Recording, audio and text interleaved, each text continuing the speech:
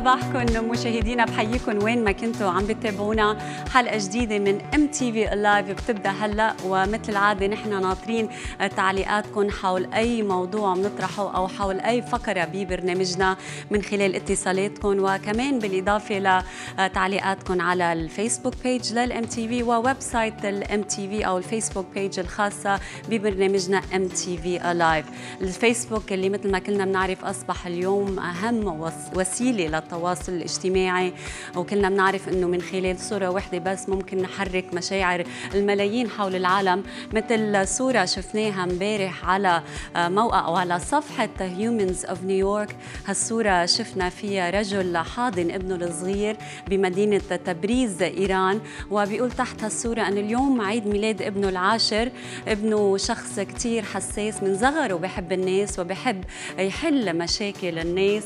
وخبرنا أنه لما كان ابنه عمره خمس سنين بس أخذوا معه على السوق واشتروا سوا كيلو مشمش. الصبي الصغير أخذ الكيس ومشي ورا والده على الطريق. وبعد شوي والده طلب من ابنه أنه يعطيه حبة مشمش. قال له ابنه ما بقى معي مشمش. سأله والده ليه؟ قال له لأنه وزعتهم على الطريق. بهاللحظة طلع الأب ببي بابنه وفرح قلبه لأنه بهاللحظة عرف أنه عم بربي صبي كله إنسانية. هالصورة مشاهدينا مش بس أثرت فيي أنا إنما كمان بملايين الأشخاص اللي شافوها حول العالم. ومنهم الرئيس الأمريكي باراك أوباما اللي أخذ من وقته حتى يعمل comment على هالصورة وقال إنه هيدي من القصص اللي أكثر أو من أكثر القصص اللي أثرت فيه شخصيا وطبعا هنا الوالد على هالتربية الصالحة.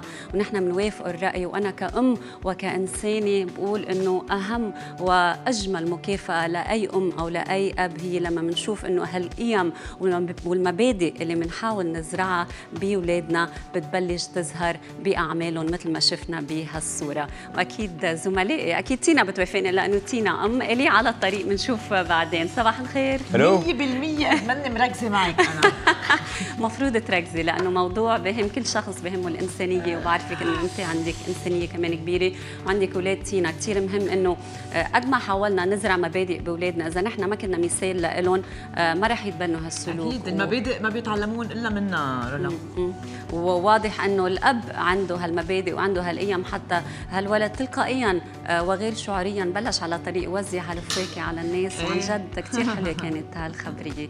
عندكم أخبار حلوة مثلها؟ غير الطقس اللي رح نحكي عنه بعد شوي؟ فينا نقارنه بهالخبرية يعني. طقس كثير غريبه كثير غريب وكثير بشع. رح نحكي عن العاصفة اللي ضربت مناطق معينة بتصور عم تجتاح كل لبنان بهالكم يوم. إلي عندك شيء هيك بنحمس المشاهدين عليه ب technology؟ إيه أكيد بدنا نحكي شوي عن وير بدي احكي لكم عن application اسمها راسك صار لازم يفرز. بتعلمنا نفرز الزبالة بأسلوب لعبة كثير مهضومة.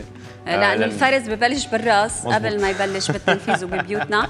يلا من دون تأخير خلينا نبدأ حلقتنا تينا أنا وياكي بأخبار منوعة ضمن up to date تفضلي.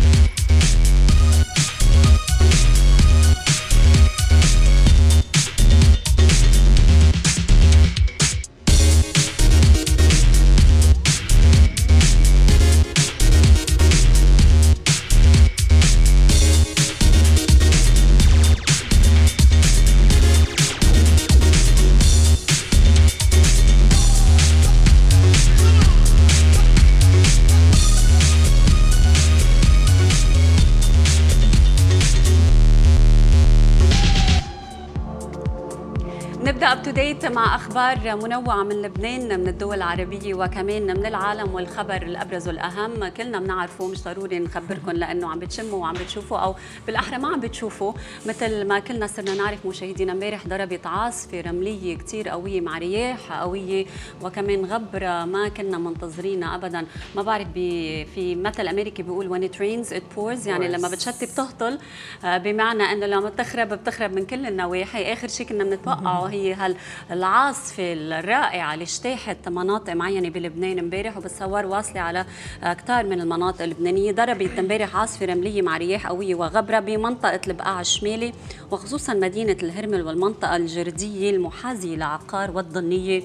هالوضع سبب انعدام الرؤية بالحالة الطبيعية أكيد مع تراكم النفايات والأقنية للمدينة وأهالي المناطق ناشدوا البلديات إنه يعالجوا الوضع بشكل سريع خوفا من الأمطار لأنه ممكن تنتج كوارث في حال أمطرت بهالحالة مع الغبرة والرياح.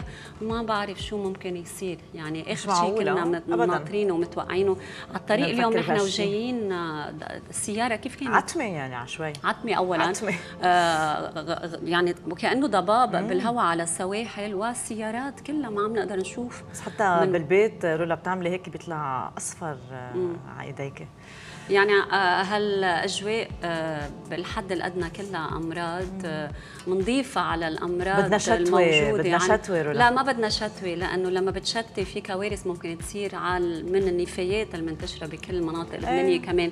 هيدي حالة ما في مهرب منها بعد رح شوي. نحكي عنها اليوم بتوب ستوريز فقرة خاصة مع متخصص بهالمجال. بنشوف شو عنا حلول ونحن كأفراد شو ممكن نعمل حتى نبلش نتوجه صوب الحل. وبرجع بذكر إنه كل واحد منا بيحمل مسؤولية إن كان فرز النفايات اللي رح يحكي عنه إلي بعد شوي بتكنولوجي أو آه، الكوارث اللي ممكن تنتج إلا إذا مش كل واحد منا كمان تحرك على الصعيد الفردي.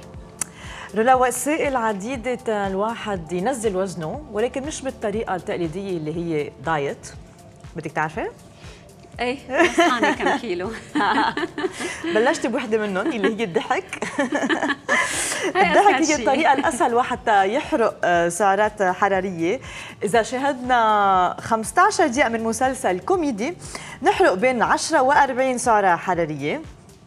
والضحك كمان بيطلق هرمون السيروتونين اللي هو بيمنعنا من الجوع. فهيدي شغلة كثير مهمة.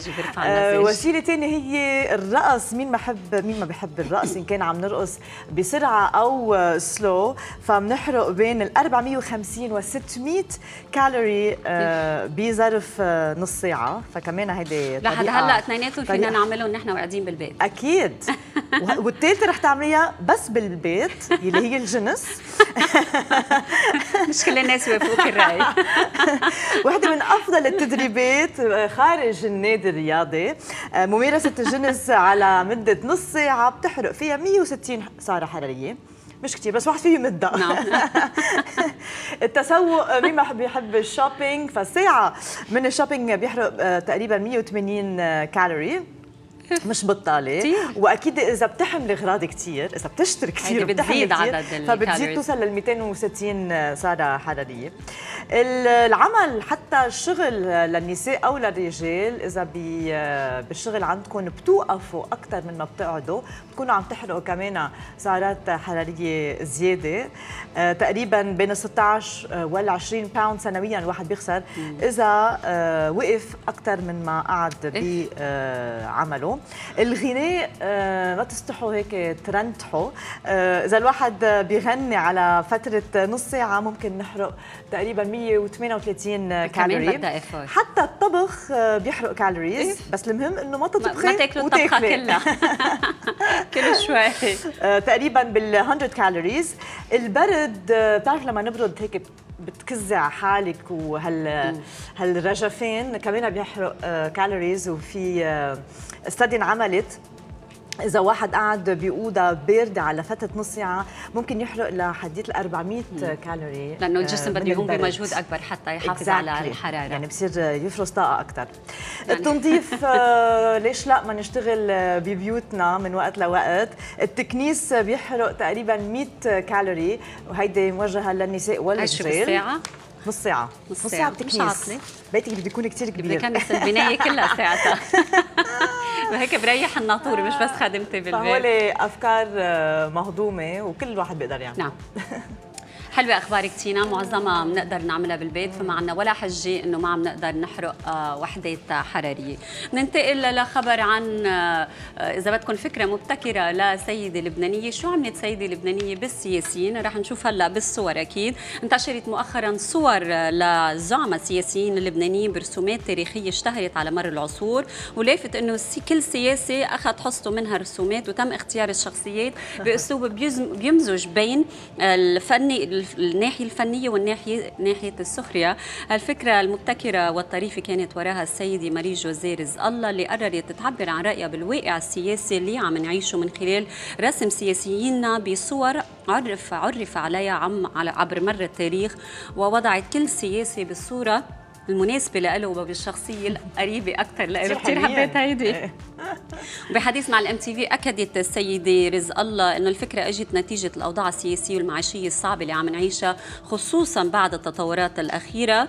وأساس الفكرة تينا كثير مهضوم الفكرة وراها مش بس إنه حتى تقدمهم بنظرة هيك شوي طريفة هو إنه هالسياسيين اللي عم نشوفهم وتعودنا عليهم عبر مر السنين قامت بوضعهم بقالب تاريخي عبر العصور لأنه آه، حتى يكونوا من الماضي يعني هون نوع من اللطشة من السيده رزق الله لها السياسيين لأنه المواطن مل من السياسيين نفسهم عبر سنين طويلة فانتهى دورهم ولازم نوضعهم كلهم وين؟ مثل ما بنشوف اللوحات بالتاريخ وبالمتحف. كمان وكمان بنفس الوقت حبت تقول إنه رح تكمل باظهار الشخصيات بهالطريقة ولكن ما رح تقرب صوب أي شخصية دينية إن كانت مسلمة أو مسيحية من باب الاحترام أكيد ونحن بنوافق الرأي.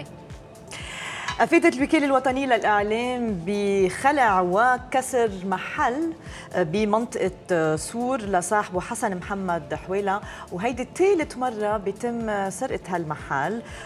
سرقوا 1500 دولار مع مولد كهرباء واللي سرقوا المحل تركوا رسالة لصاحب المحل بالمزيد. ولو لا هون في شيء شخصي في طارئ شيء شخصي يعني أربع مرات مش مش مش هيدي المرة الرابعة. ننتقل لخبر عن الفيسبوك. مشاهدينا مين منا ما عنده صفحة خاصة على الفيسبوك ولكن عدد الأصدقاء بتختلف بين شخص وآخر. ممكن يكون فرق كبير. وكمان أظهرت دراسة حديثة أنه الأشخاص اللي عندهم مئات الأصدقاء على موقع فيسبوك معرضين لمضايقات ومحتوى غير لائق.